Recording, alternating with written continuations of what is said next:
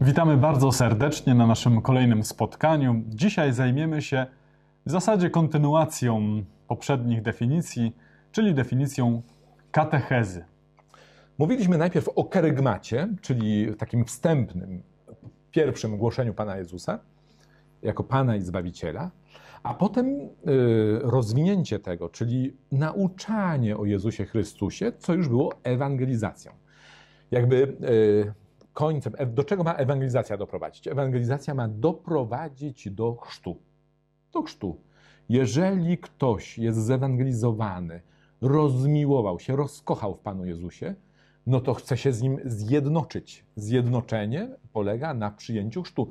Wtedy e, zanurzamy tego kogoś w Trójcę Świętą, Ojca, Syna i Ducha Świętego, tak, że ten ktoś e, duchowo jest nierozerwalnie związany z Jezusem Chrystusem, czyli staje się ciałem Chrystusa, czyli staje się Kościołem. I teraz, co dalej? Zostawiamy go e, bez opieki? Nie.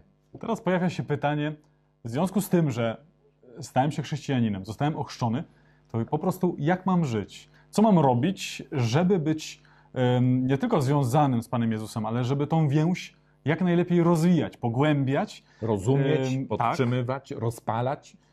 Czyli, yy, czyli da, kontynuacja, kontynuacja. I katecheza jest w zasadzie do końca życia chrześcijańskiego.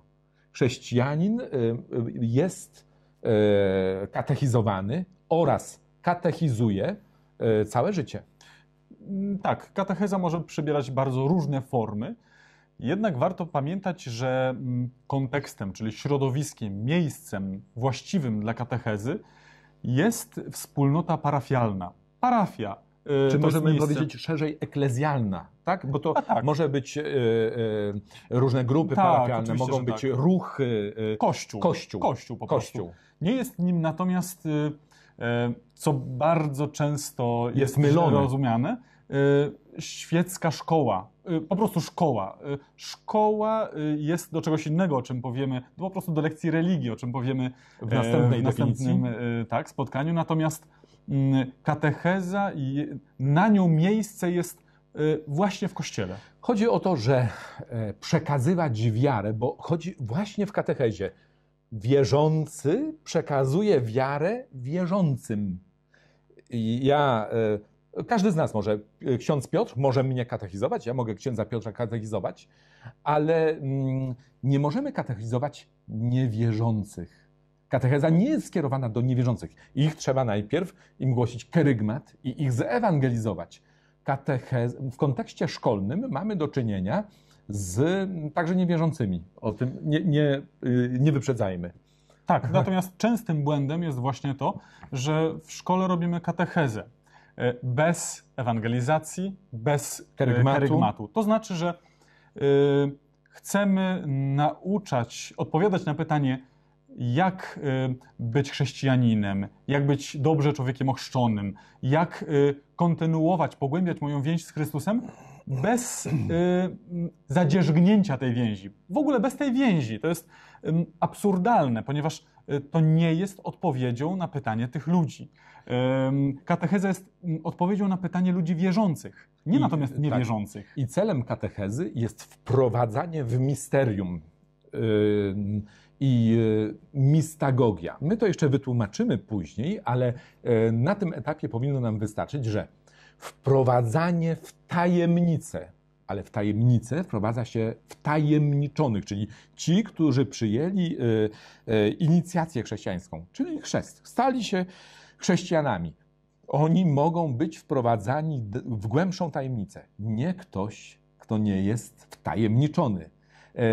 W starożytnym chrześcijaństwie było to tak dramatycznie, drastycznie, jednoznacznie przestrzegane, że na misterium, na przykład Eucharystii, czy na spotkania wiernych, absolutnie nie mógł wejść nikt, kto nie był ze wspólnoty, kto nie był wtajemniczony uznawano to w niektórych sytuacjach za ciężkie przewinienie, ciężki grzech. Te osoby, które przygotowywały się e, do chrztu, tak zwani katechumeni, e, mogli wprawdzie uczestniczyć w części mszy świętej, ale tylko do pewnego momentu. E, przed wyznaniem wiary, czyli mogli uczestniczyć w, w liturgii słowa. W... Nawet słyszeć homilię mogli. Tak, bo to mogło pogłębić ich wiarę. Natomiast tak. potem absolutnie... Jak się zaczynała modlitwa wiernych, to była modlitwa wiernych. No i też nie... wyznanie wiary, tak? I wyznanie wiary, tak. Tylko wierzący mógł wyznać wiarę. Mhm. Ktoś e, A tak, niewierzący. Bo jest przed. E, tak, właśnie, ktoś, tak. ktoś niewierzący, no przecież nie może on wyznać wiary, więc usuwano tych ludzi z kościoła. Popatrzcie na to, jak dzisiaj każdy może wejść do kościoła z ulicy. E, to jest jakby coś nowego w chrześcijaństwie. Coś, co niekoniecznie tak musi być. Mamy absolutnie prawo do tego, żeby zamknąć kościół i wpuszczać tylko tam wtajemniczonych. nic by się, e, żaden dramat by się nie stał. Byłoby to bardzo zgodne z naszą wiarą. Trzeba się najpierw wtajemniczyć, czyli e, być zewangelizowanym, usłyszeć kerygmat i przyjąć go. Wtedy e, można dalsze formy katechetyczne, tych dalszych form doświadczać. Tak, więc y, żeby mieć jasność, katecheza jest pewną kontynuacją um, kerygmatu i ewangelizowania. Ktoś, kto usłyszał kerygmat, zapalił się um, do wiary, um, usłyszał później odpowiedź na pytanie, kim jest ten Jezus Chrystus, o którym mi mówisz, usłyszał jego historię, usłyszał treść Ewangelii, potem nagle potrzebuje, już po chrzcie, potrzebuje ciągle się rozwijać jak mam żyć, co mam robić. I katecheza nieustannie e, na to pytanie ma mu odpowiadać. Co więcej, też katecheza dokonuje się, co już e, ksiądz Piotr powiedział, e, w komunii eklezjalnej, czyli w kościele. Ale po co? Żeby coraz bardziej doświadczać tej komunii kościelnej, czyli że to nie jest jedynie moja wiara, więź z Panem Jezusem, jedynie moja indywidualna, bez uwzględnienia wszelkich pozostałych relacji. Nie, to jest, zaczyna być nasza wiara. My wierzymy do tego stopnia, że my stanowimy wspólnotę, my jako Kościół, czyli jako jedno ciało, żeby doświadczyć eklezjalnej jedności często e, umyka nam to ze świadomości, że to jest celem e, katechezy, żebyśmy coraz bardziej byli Kościołem. Katecheza też jest związana z przygotowaniem do poszczególnych sakramentów. Kiedy już wejdziemy do wspólnoty Kościoła, cały czas chcemy coraz mocniej, bo też taki jest cel katechizacji, wiązać się z nią, i także e, e, i z Jezusem Chrystusem poprzez e, sakramenty. Dlatego mamy katechezy różne sakramentalne przed mm, pierwszą komunią świętą, przed spowiedzią, przed bierzmowaniem, przed sakramentem małżeństwa. To są katechezy, które mają wprowadzić właśnie w tą mistagogię, w misterium, w coś tajemniczego, czego wcześniej nie znaliśmy, ale dzięki katechezie rozumiemy.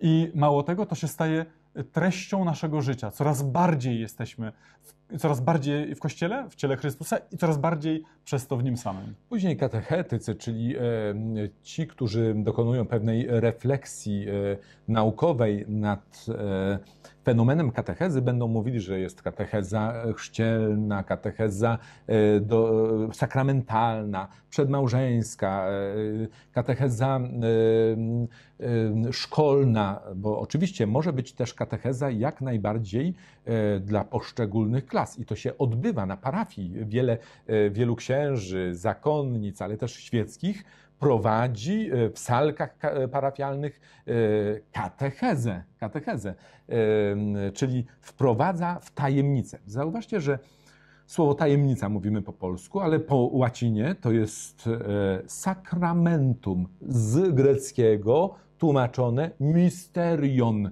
czyli sakrament. W zasadzie wprowadzanie w tajemnicę, czyli to, co się nazywa sakramentem w Kościele. Żeby pogłębić temat katechezy, e, proponujemy wejść w kod QR, a tam oczywiście na pierwszym miejscu znajdziemy test do rozwiązania, a dalej, e, jak zwykle, pewne mm, propozycje multimedialne, które czy rozszerzą, z jednej strony rozszerzą, mm, ale też y, lepiej uświadomią, czym katecheza jest. I uprzyjemnią. A to ważne. Ta muzyka najpierw. Może znacie, pamiętacie Państwo film Misja. Piękny film. Piękny Ach, film. Coś fantastycznego. I zachęcamy do obejrzenia tego filmu. Wspaniały. Chciałem zaproponować jedną piosenkę E, Vita Nostra, no w zasadzie pieśń, to jest bardzo rozbudowane. Całe nasze życie, kiedy do e, jezuici e, jadą do Ameryki Łacińskiej ewangelizować nowe tereny, kiedy w jakiś sposób na tych nowych terenach głoszą Jezusa Chrystusa, przemienia się tam całe społeczeństwo radośnie. Najlepiej, że to jest film oparty na faktach o prawdziwych redukcjach paragwajskich, które upadły ze względu na e, europejskie nasze e, kłótnie. Czyli e, film pokazujący przemienione życie ludzi, którzy są już zewangelizowani, już przyjęli Jezusa Chrystusa i teraz żyją w tej wierze, tworząc prawdziwie chrześcijańskie społeczeństwa. Coś pięknego. Film bardzo polecamy. To jest naprawdę wyjątkowa perełka kinematograficzna. Także jeśli chodzi o filmy, drobniejsza e, propozycja. E, powiedzieliśmy już, że dzięki katechezie człowiek może, e, człowiek wierzący może wejść lepiej w zrozumienie wiary, ale też lepiej związać się ze wspólnotą Kościoła, a także zrozumieć lepiej sakramenty. Bywa jednak tak, że często nawet uczestnicząc e, w sakramentach, na przykład we mszy świętej, nie do końca e, rozumiemy, o co w niej chodzi. E, tak samo jak bohater filmu pod tytułem W drodze do Emaus. Miał mm, o tyle szczęście, że na tej mszy świętej usiadł koło bardzo pięknej dziewczyny. I dalej historia jest dosyć interesująca, bardzo serdecznie zachęcamy. Aha. w takim momencie przerwać księże. No. Dlatego zachęcam do kontynuacji. tak zwany mm, cliffhanger, czyli taką klas... urwanie Aha. tematu.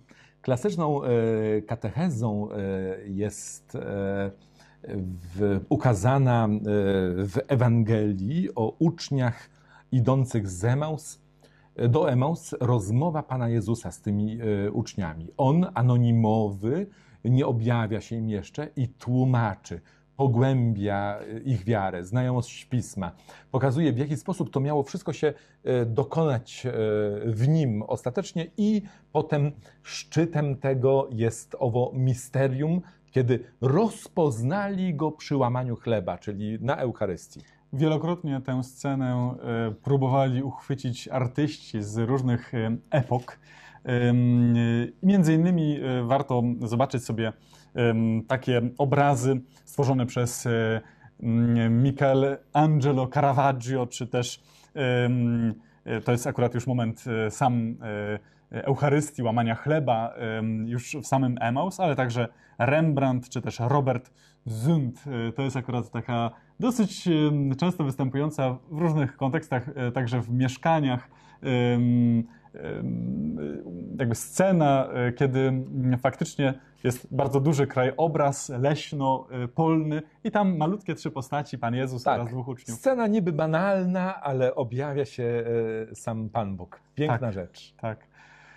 To chyba tyle. Chyba tak. Zachęcamy do mm, tych spośród Państwa, którzy są ludźmi wierzącymi, do nieustannej e, katechizacji i siebie samych, i katechizowania innych. I tutaj y, księża mnie pewnie y, zjedzą w cudzysłowiu, y, mówiąc kolokwialnie, ale wymagajcie od swoich duszpasterzy katechezy, ponieważ nie mamy od lat już w wielu parafiach w Polsce katechezy.